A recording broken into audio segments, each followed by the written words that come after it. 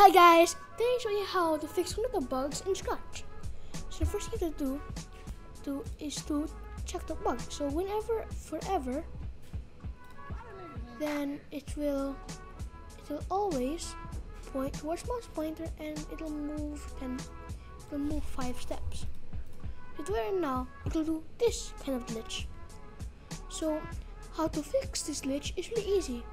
So to build this is you need a if then else a a a this thing the crocodile and a sensing which is the what's the distance distance which is this one.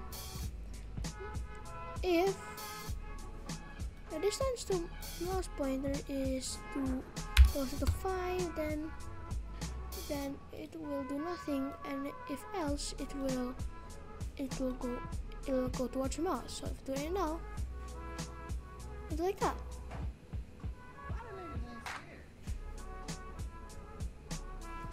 So how this works by the way it's very simple to explain it.